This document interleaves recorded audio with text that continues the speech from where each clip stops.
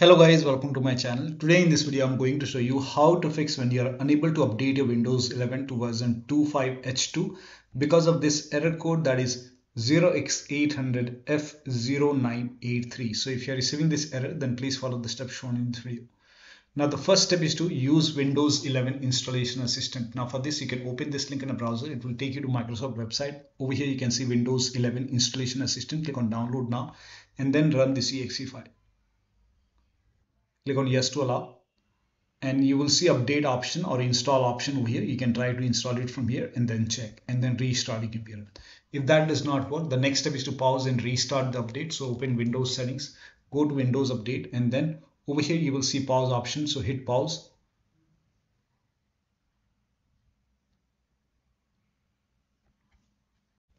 Now once pause, now resume updates and then you can check. Still not working. The next step is to run these commands. So type in CMD in Windows search box, make a right click on command prompt app.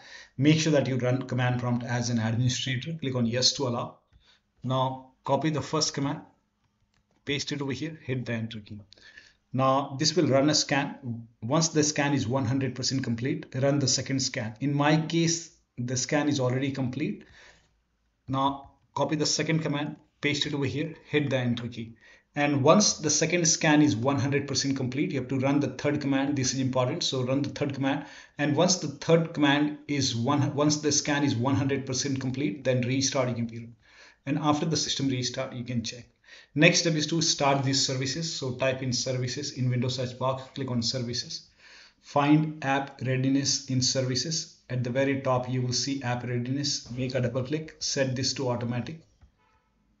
Click on apply. Click on start if highlighted. And then click on ok.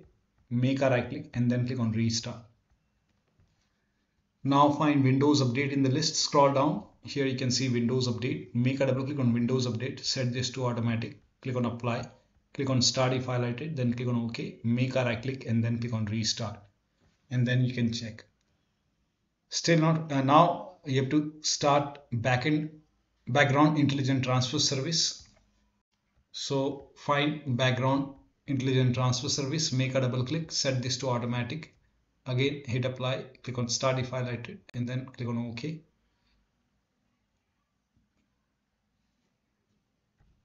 Now make a right click and then click on restart.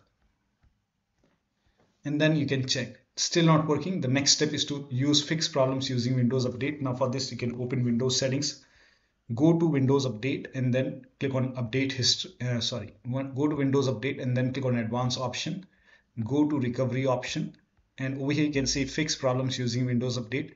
This will reinstall your current version of windows. Your apps files and settings will be preserved. So click on reinstall now. This process will take some time and once this is complete restart your computer and then check. Still not working. The next step is to use media creation tool. Now for this you can open this link in a browser. It will take you to microsoft website. Here you can see media creation tool. Click on download now and then run this exe file. Now once you run this exe file you will see this screen.